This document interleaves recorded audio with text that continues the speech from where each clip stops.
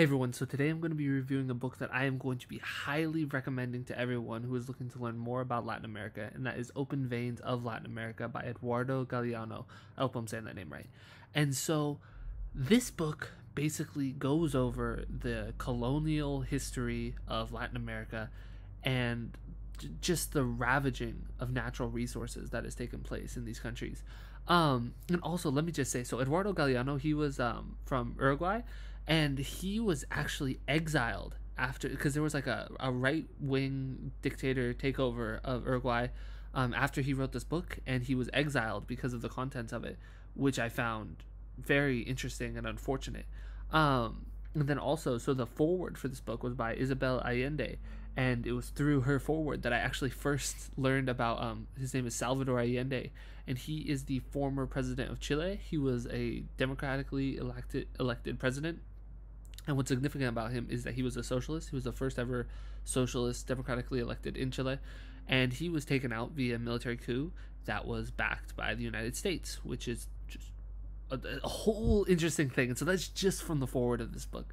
Um, and then when you jump into it, you can definitely see right away that um, Galeano has a uh, Marxist leaning.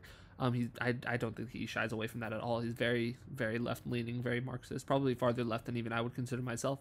Um, but I think that it's good that we're getting because this is not a history, a perspective on history that you normally get.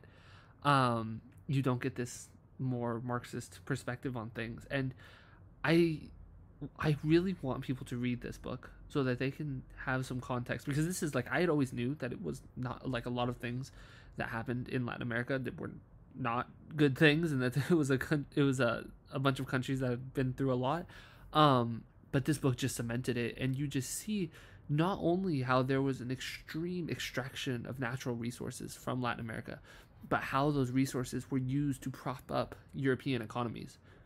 Like you had mon- like gold and um, silver and whatnot that was being taken from Latin America and being um, you know through Spain and used to prop up several economies in Europe, um, which I found very interesting and something that I definitely hadn't heard of before.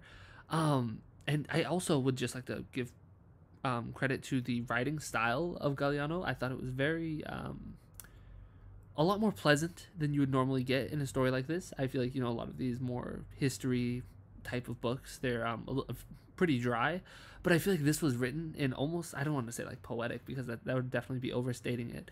Um, but the prose that Galeano uses was were very nice, which is even more interesting because I think that that has to do with the fact that it is translated from Spanish.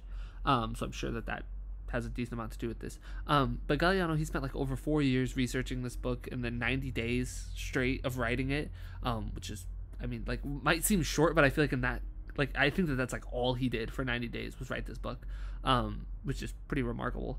And so anyway, I would highly, highly, highly recommend it to people, especially if you're even somewhat interested in learning about the colonial history of Latin America and just kind of getting a better picture of why the countries in Latin America are where they are today. I think that this is a great book for that. And so definitely recommend it. Pick it up. If you guys disagreed with anything I said in this video, or if I got something wrong, if I got one of the names wrong or one of the countries wrong, um, definitely correct me. Um, but other than that, um, if you enjoyed this video, make sure to like and subscribe, and have a great day.